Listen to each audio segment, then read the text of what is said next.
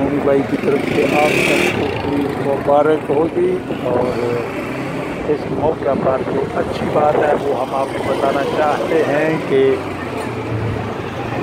तीन बंदे आज के दिन में अपनी बख्श से महरूम रहेंगे। उसमें सबसे पहला बंदा वो है जो झगड़ालू किस्म का होगा। दूसरा बंदा वो है जो शराबी होगा और तीसरा वो होगा जो कि वालदेन का नाफरमान होगा।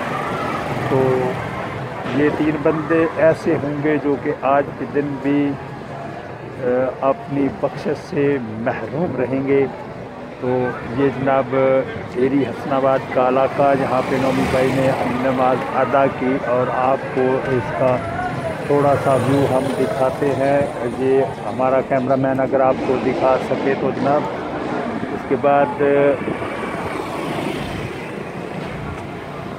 खूबसूरत व्यू मस्जिद का और ये मस्जिद शेखा के नाम से बड़ी मशहूर है जनाब। और ये सारा इलाका अभी नमाज़ चूँकि अभी अभी अदा हुई और नोमी भाई ने भी अदा की और once again congratulation and Eid Mubarak.